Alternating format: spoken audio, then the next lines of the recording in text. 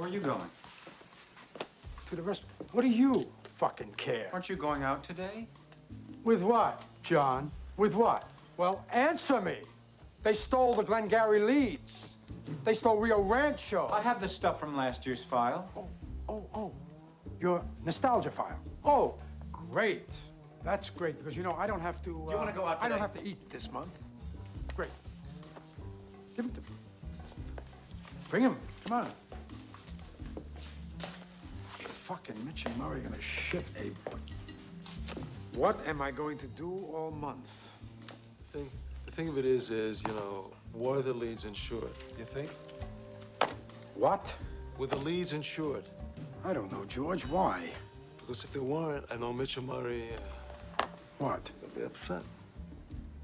That's right. You're right. He said we're all gonna have to talk to the guy, To the cop. great. We have to talk to the cop. Another waste of time. A waste of time. Why? Why? Because they're not gonna find the guy. The cops? Yes, the cops. No. The cops aren't gonna find the guy? No. Why do you think so? Why? Because they're stupid. Where were you last night?